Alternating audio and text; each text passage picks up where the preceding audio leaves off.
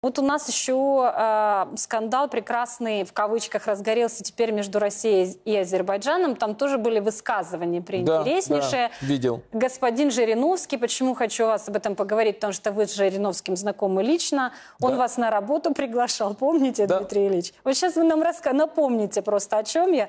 Да, э, можно нам сейчас, друзья, я просто скажу, что скандал разгорелся из-за высказываний как раз-таки об азербайджанском государстве лидера ЛДПР Владимира Жириновского Жириновского, и он там назвал а, российского политика свиньей. Причем там несколько эпитетов, я не знаю, я не хочу вообще их проговаривать в эфире, но некрасивые эпитеты. Значит, э, далее в интервью радио «Комсомольская правда» господин Жириновский выразил мнение, что Россия должна э, вернуться на все территории Российской империи и Советского Союза. А Южный Кавказ – это наша зона влияния, наша российская зона влияния. Ну, так напрямую начал резать то, что думает. В общем, дальше он говорил там о диктатуре, которая царит в Азербайджане, о том, как политики азербайджанские дурно пахнут. В общем, массу-массу всего. Давайте мы кое-что сейчас все-таки покажем зрителям. Ну, вы видели, просто еще раз освежим.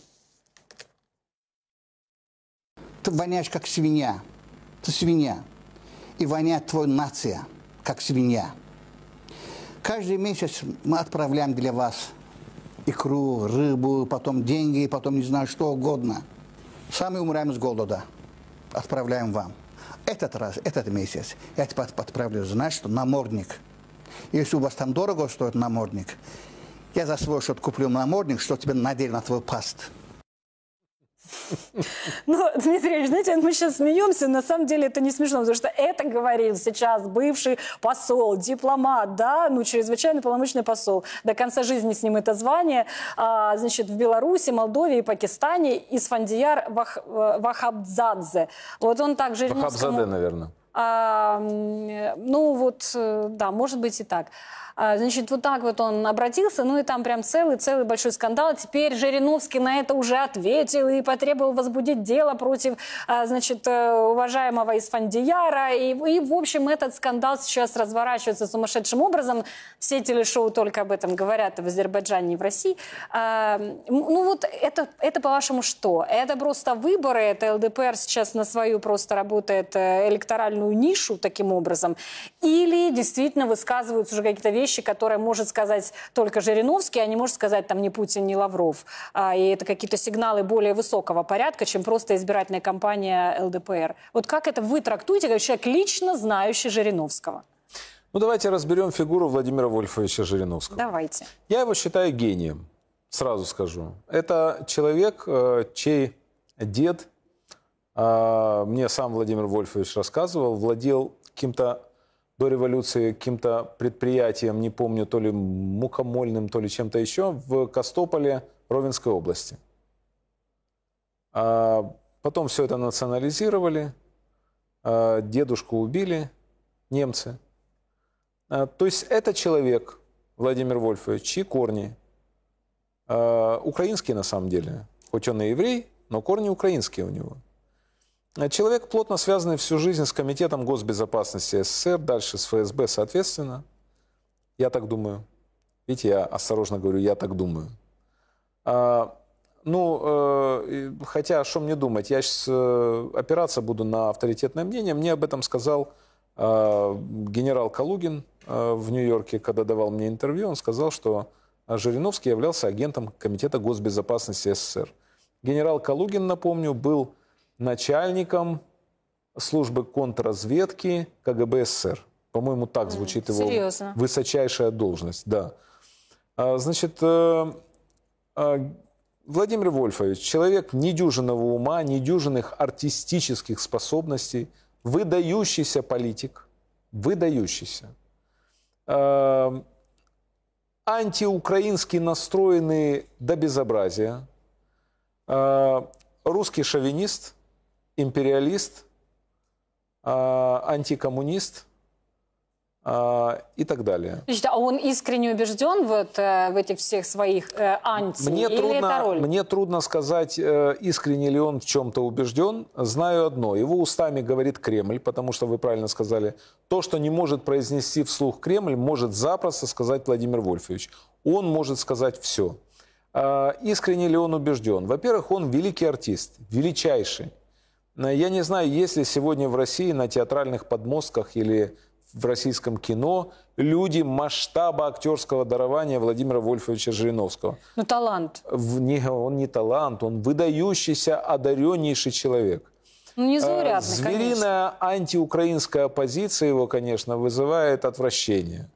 И мы с ним, кстати, говорили э, об этом э, в интервью, которое не вышло. Э, Владимир Вольфович, правда, выпустил определенную часть э, этого интервью э, на радио «Комсомол». «Комсомольская правда», да.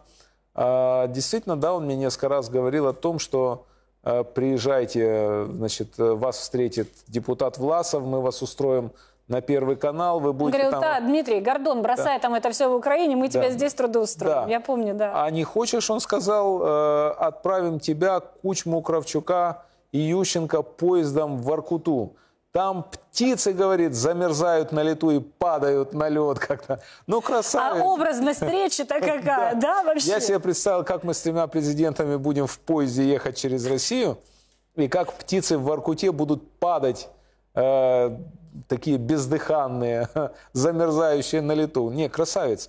Он реальный красавец. Теперь, что касается Азербайджана.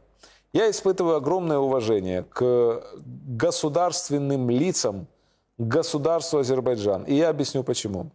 Пока мы телимся, пока телятся молдаване, пока телятся грузины, э, Азербайджан долго накапливал силы, готовился. И под руководством, под мудрым, скажу, руководством президента Илхама Алиева, сына великого человека, я считаю, Гейдара Алиева, и это был величайший человек, Азербайджан рванул, пошел вперед и забрал свои территории. Понимаете? И ни одна Да, собака они не теряли пикнула времени, это и правда. не пискнула. И Россия сказала, мы не можем вмешиваться в этот конфликт, потому что Азербайджан ведет боевые действия на своей территории, сказала Россия. И все. И все. Я знаю подробности того, как это происходило. Мне об этом рассказывали азербайджанские военачальники. Я знаю о той неоценимой помощи, которые, э, которую предоставила Азербайджану э, Турция, которую дал Израиль. Э, Турция и Израиль невероятно помогли Азербайджану с вооружениями. И я уважаю Азербайджан за то, что они пришли и забрали свое. И я начну уважать свое государство, когда мы придем и заберем свое. И ни одна тварь не пискнет, когда мы будем забирать свое, потому что мы будем забирать свою территорию.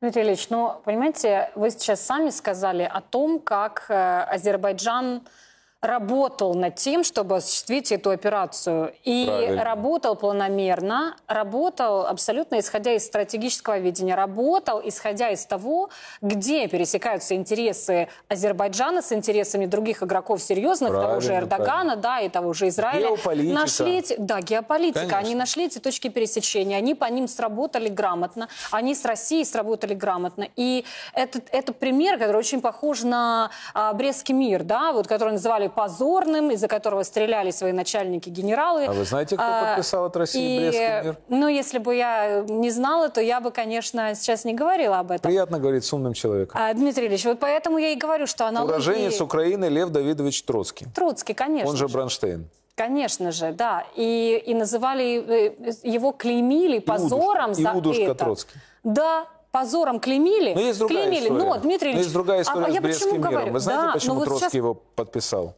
Потому что Ленин был агентом э, Германии и был переправлен в Россию для того, чтобы сделать революцию, только для того, чтобы Россия прекратила воевать и вышла из войны. Поэтому Ленин пообещал, что если дадут сделать революцию и профинансируют, а немцы мощно профинансировали революцию, а Россия по Брестскому миру отдаст часть территории. Все так и произошло. 18 год Брестский мир. А, 18-й год Брестский мир, с одной стороны, это, ну вот, вот да, это так, а с другой стороны, даже а, при том, что кто-то мог быть чьим-то агентом. Опять, аналогии все, знаете, вот они прям на ладони, да, Не мы тоже быть. все время Ленин, говорим... Ленин был немецким агентом. Да, я, я, Дмитрий Ильич, я говорю о том, что у нас же тоже там на, э, знаете, людей, в принципе, навешивают ярлыки, а этот под внешним управлением того, а этот агент этого, а этот... Я, я говорю сейчас о топ-политиках, которые принимают решения, да, что мы только о них не слышим, а, чью они внешнеполитическую волю только не проводят и не исполняют, подписывая те или иные а, договоры, соглашения и так далее. Вот просто аналогия очень интересная вот с этим Брестским миром и с тем, что у нас сейчас происходит. А, ну, как, так вот я говорю, кто бы ни был чем агентом, я к чему? А, сумели использовать даже этот позорный, а, невыгодный, мягко говоря, а, государству Брестский мир, а, сумев за эти несколько лет а, создать армию мощную, да, это Троцкий над этим работал. Его клеймили, он работал, а он создавал, он реализовывал свои идеи. Сделали армию, а, в общем-то, ресурс организационный подтянули и финансовый тоже. И отвоевали и вернули все эти территории потерянные еще и с лихвой. А, возвращаемся к Азербайджану. Надо над этим работать. Вот Троцкий работал, вот Азербайджан работал. А Украина что надо делает? Троцкого прислать в Украину назад. Дух Троцкого. Сеанс спиритизма.